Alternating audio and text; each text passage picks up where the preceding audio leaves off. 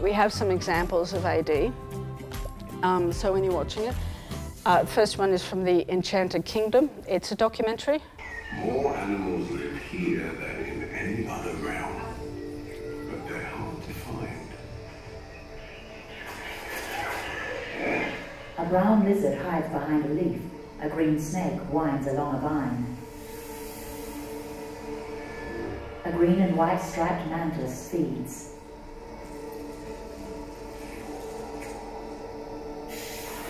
An insect with large antennae and mandibles turns. Hardly any light gets through. And down here, on the forest floor, a leaderless army of blind ants is on the move. Its mandibles wide, a black ant rears up. Driver.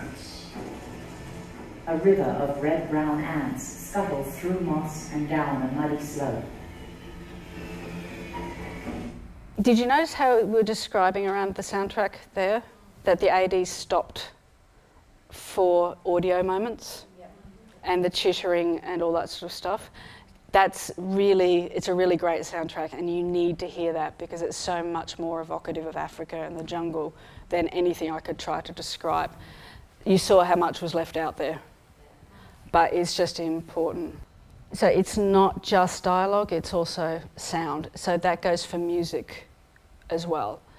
I did a film called American Hustle. Um, there was a very complicated scene where all of the characters met together in a nightclub and lots was going on, but they were playing Yellow Brick Road by Elton John. And I could not describe over it because it was just such a great moment in cinema.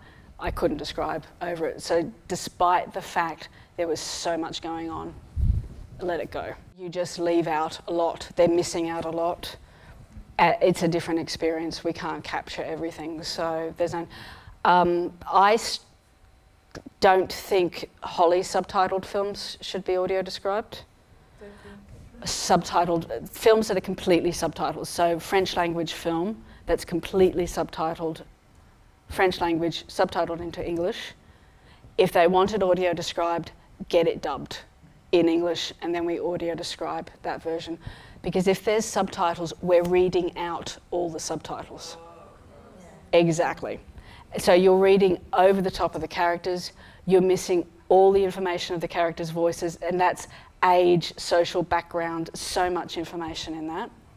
Um, we do do subtitled movies. Subtitles are completely standard, but um, we usually, if sometimes clients have said, "Will you do this one?" and we sort of point out the problems of doing the whole subtitled movie. Okay, but We've done Orange is the New Black, lots of subtitles. That subtitles are fine, just not the whole movie. So for English language speakers who are hard to understand, strong accent, whatever reason, um, this, we make that call on a case by case basis because sometimes we can understand them and so we leave it, even if they have been subtitled.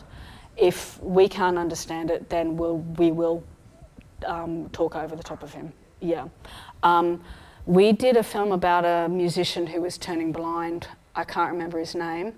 And he was subtitled all the way through.